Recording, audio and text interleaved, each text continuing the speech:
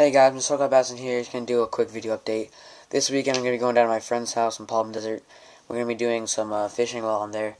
It's gonna be a three-part video: one on Friday, Saturday, and early morning video on Sunday. I'm Just gonna be trying to catch those uh, finicky bass in the cold water. He's got a little pond down by his uh, place condo where he lives. He lives in a club, so we're gonna try to get around from getting kicked out but if we don't, then it'll be a good, good video. So please stay tuned for that video, and please comment, rate, and subscribe later.